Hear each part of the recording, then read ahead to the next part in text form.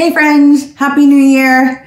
Just uh, wanted to uh, share a bit of information that um, I found out this past week.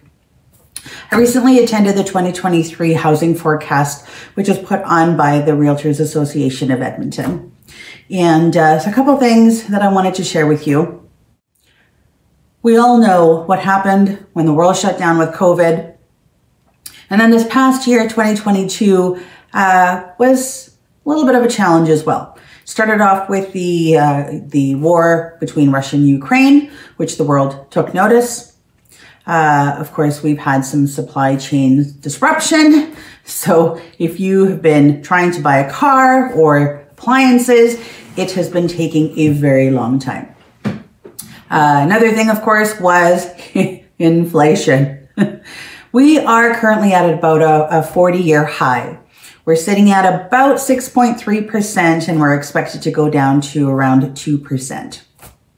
Bank of Canada, of course, stepped in and they raised interest rates seven times. Yes, seven times last year. And on the 25th of January, they are going to announce uh, what they're going to do, uh, which we anticipate it'll be another quarter percent.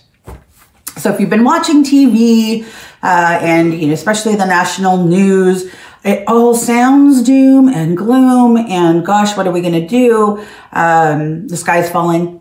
But I'm here to say it's actually not. When you hear national numbers, take that with a grain of salt because what it, it doesn't do is it doesn't reflect Alberta numbers, true Alberta numbers. So yes, has the market shifted? It did but it always does in the fall. Cyclically, spring is our busiest time, and then of course, fall is not so busy. You know, you're looking at um, growth. When you listen to the numbers, the Canada numbers are about 1%. Alberta, we did a lot better. We did 1.9%. And so overall, mean, compared nationally, Alberta still remains strong, despite what you're hearing in the news. Uh, you're looking at net migration. You know, there are still people moving here. They need jobs.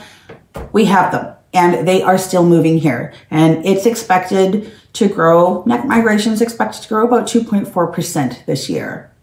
Uh, these people, when they come here, they're going to need homes. And right now, that's what we are. We're getting a lot of calls from uh, places like BC and Ontario. Uh, they're looking to move here and uh, they've got jobs lined up and they're they're looking for a place. So a recent report from the government of Alberta found that it, in Alberta today it takes about 21 weeks to, of work to pay the annual mortgage payment on an average home on the resale market.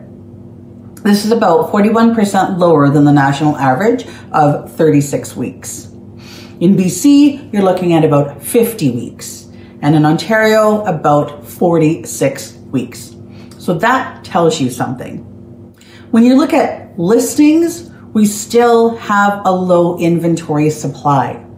A lot of people put things off because of COVID.